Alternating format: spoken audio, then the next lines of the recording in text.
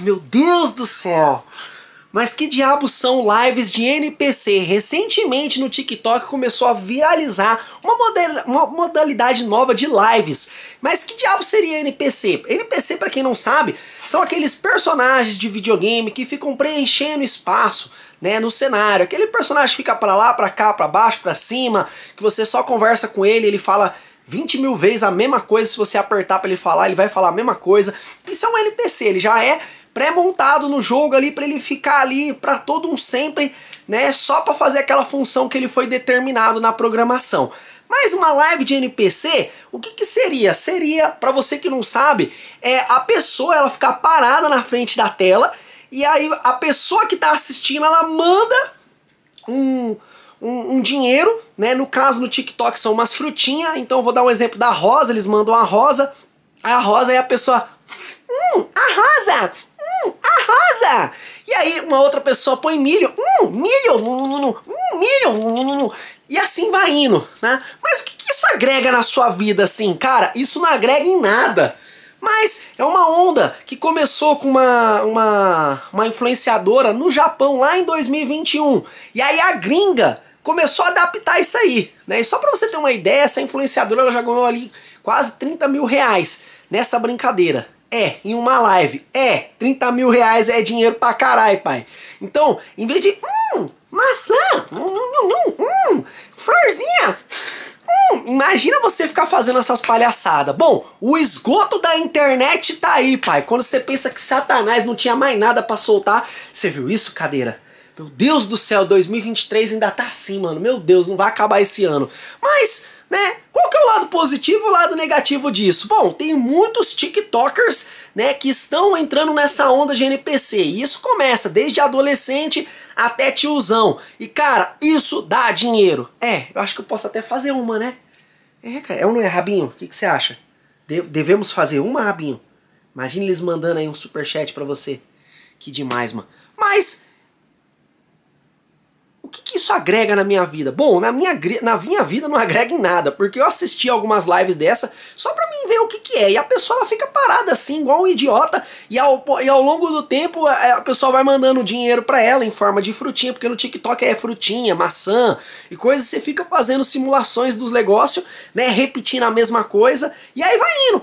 É simplesmente isso. É uma live que, no meu ponto de vista, é uma live chata, não agrega em nada. Mas Pior que assistir uma live dessa é quem financia. Pois é, ainda tem uns cara que é louco, pai. Esses aí tem problema mesmo. Mas tranquilo, né? E aí a gente para e pensa, que, esse negócio começou a viralizar? Porque é um negócio meio que uma modalidade nova na, na internet. E a galera vem caprichando, vem se fantasiando, né? Um, um youtuber, né, que virou um TikToker, esse aí é, um, é conhecido como Felca. Esse aí ninguém conhecia ele, mas meio. Não é que ninguém conhecia, né? Tipo, ele estourou a bolha, ele que tecnicamente é o pai do, das NPC aqui no Brasil. Ele explodiu a bolha, né? Ele fez aí 50 mil reais numa live e tem uma galera meio que tá esnobando o CLT, né? A galera que trabalha de carteira registrada para ganhar 1.800 reais é, durante um mês, tem uns TikToker que ainda tá zoando, porque eles começam a fazer, mano, pra que virar CLT? Se eu tiro 1.800 reais em uma live? Em, em, em uma hora? E aí o cara faz uma hora por dia, vezes 1.800, mas aí o cara quer fazer 3, 4 horas de live, quer fazer... Meu irmão, a matemática tá foda pra esses caras. Então, tipo, os TikTokers estão fazendo ali, estão ganhando um dinheiro, estão fazendo bizarrice, estão fazendo uns bagulho assim que você fala, mano, não dá para fazer. É você imitar uma criança de 5 anos de idade. Tudo bem que você não tem mais idade para isso. Mas até onde é o seu limite? Eu sou meio suspeito de falar, por quê? Porque eu também sou criador de conteúdo. Então não dá pra mim sair criticando os outros, porque eu também já fiz muita loucura. Inclusive eu já dancei de cueca rosa lá no SBT, há uns 10 anos atrás. Mas tudo bem, né? Águas passadas, pai. Eu acho que eu vou abrir uma cadeira! Eu acho que eu vou abrir uma live de NPC, cadeira! Pelos inscritos, cadeira! Como deve ser. Mas aí, é, a gente se pergunta, né? Eu, eu, o que, que acontece? São, são, é dividir, essas lives de NPC foi dividida por dois públicos. O público que não assiste e o público que, o público que assiste e o público que critica elas. Por quê? Porque a galera começou a falar, olha, isso é coisa de gente imbecil. Isso aí não agrega valor em nada. Isso aí, mano, você tem que arranjar um trabalho. Aí você para e olha, ó, põe esse dedo pra cá. Pra que arranjar um trabalho se em uma hora a pessoa faz dois mil reais? Aí não faz sentido, né? Aí, pô, peraí. E aí a gente começa a levar em consideração que a galera tá ganhando um dinheiro violento com isso, né? E aí você que você que critica isso, eu gostaria de fazer uma pergunta bem sincera. Você tem condições, você teria coragem de fazer uma live dessa, fazendo palhaçada para ganhar dinheiro? Talvez você falaria não, mas já pensou você fazer uma live dessa, de repente cai milão aqui em uma hora? Você tá assistindo esse vídeo aqui, daqui a uma hora você tá com mil reais. Amanhã você já tá com 10 mil. Caralho, borracha, mudou minha vida. Lógico que muda, mas eu fico vendo assim, não é um tipo de conteúdo que eu gosto de consumir. Porque eu acho que um conteúdo legal é quando você recebe uma informação, você absorve ela para você, você repassa ela futuramente, ou então você compra algo para construir algo, para fazer algo, para movimentar um ciclo de satisfação. Eu acho que isso é uma informação legal. Agora quando você milho, maçãzinha,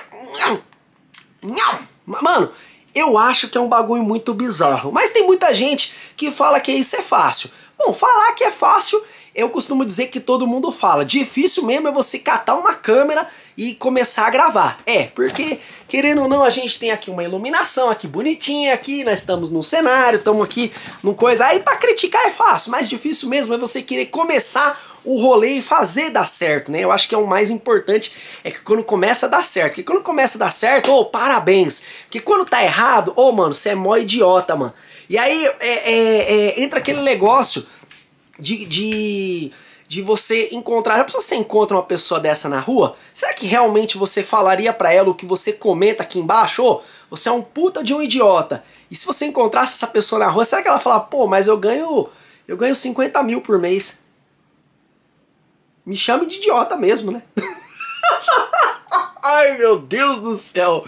Quando você pensa que não, a internet sempre se supera. É a parte da profundeza das profundezas da internet, mano. Quando você acha que Satanás não tinha mais nada, mano, aparece as lives de NPC. Mas eu não sou contra esse tipo de, de produtor de conteúdo, até porque eu acho que tá, aqui na internet tá todo mundo é, tem o seu espaço para ganhar dinheiro, até mesmo você que está assistindo esse, esse, esse vídeo, amanhã você pode falar, colecionador, eu assisti um vídeo seu de NPC, volta aqui nesse vídeo, depois você volta nesse vídeo, depois de um tempo que eu vou ler os comentários e fala, colecionador, assisti seu vídeo de NPC, peguei, fiz uma live, deu certo, tô aqui, ó, ó voltei. Manda pelo menos aí um, um realzinho de superchat pra mim ver se voltou. É ou não é? A cadeira, a cadeira não tá aqui, não. Que, pô, tô ficando doido esse negócio de cadeira. Mas aí, gente, eu penso assim, a pessoa ela tem esse poder de poder criar o, o conteúdo, consome quem quer, e outra, financia, patrocina, ajuda quem pode. Né? Eu acho que fica bom para todas as partes, mas não é um tipo de conteúdo que eu gostaria de produzir para o meu público, e até porque o TikTok é outro público, né? Eu tenho TikTok, segue nós, TikTok, o colecionador. Só que eu acho que não é um negócio assim que agrega, não é um negócio assim que, tipo, é mais para você ver e dar risada. Você fala, puta que eu pariu, mano, como o ser humano chegou nesse nível, né, mano? Rapaz, mano, eu já tirei a roupa, mas isso aí é, é demais. Né? Imitar uma criança de 5 anos fazendo palhaçada, se passando por NPC, eu acho que é demais. Mas tá bom, né? Eu acho que cada um tem que alcançar o seu, tem que fazer o seu. Eu, sinceramente, eu acho que esse tipo de conteúdo, ele é um viral, né? E não vai transcender por muito tempo, né? Eu acho que vai acabar, vai perder a graça. Claro que vai ter uma galera que vai surfar nessa onda e vai ganhar muito dinheiro. Basta saber se você vai perder a vergonha e vai fazer isso também né? Ou vai continuar trabalhando de CLT. Bom, tem essas aí também. Porque fazer TikTok e continuar trabalhando numa empresa, os dois não bate. Até porque o pessoal da empresa vai começar a te aloprar. É, né? E eu falo isso porque quando eu fui pro SBT dançar de cueca rosa, o pessoal da empresa começou a me aloprar. E aí eu andava meio sério, meio para desviar o assunto para não ficar isso, porque era ambiente de trabalho. Mas a partir da hora que você ganha 50 mil reais, 10 mil reais por mês, pai, aí acho que não tem necessidade de você trabalhar, né? E aí, aí cada caso é um caso. Eu não tô achando que. Eu não tô falando para você que passar vergonha na internet é, é o certo. Mas você não tá matando, você não tá roubando, você não tá é, aplicando estelionato, você não tá é, infringindo nada. Tá ali, você tá fazendo o seu conteúdo. Então quem assistiu esse vídeo até o final, digita a palavra NPC.